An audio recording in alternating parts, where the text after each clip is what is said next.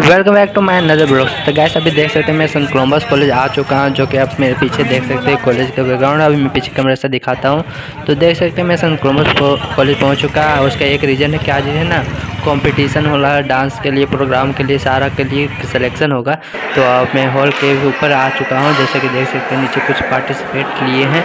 तो अभी मैं फ़िलहाल नीचे जाऊँगा। आपको सारा कुछ दिखाऊँगा। वीडियो में लास्ट तक बने रहें।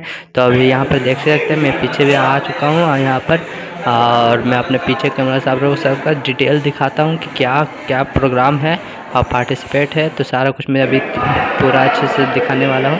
और ये रहा फिर ऊपर से मैंने अभी डांस जो हो रहा था तो उसको कैप्चर करने का कोशिश किया हूँ अपने वीडियो में।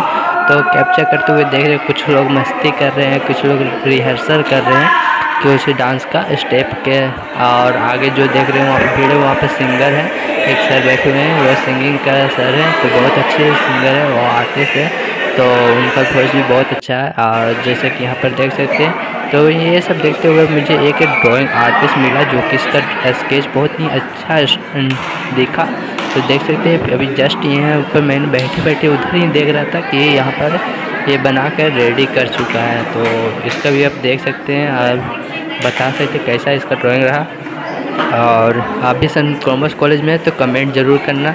और जा अगर जानते हो कि संत कॉमर्स कॉलेज तो भी कमेंट करना और यहाँ पर देख सकते हैं। ये भाई साहब के ड्राइंग तो अभी बनते ही हैं और कंप्लीट होने के बाद शायद मैं अभी मुझे तो पता नहीं कब कंप्लीट होगा बट लगता है जल्दी ही हो जाएगा।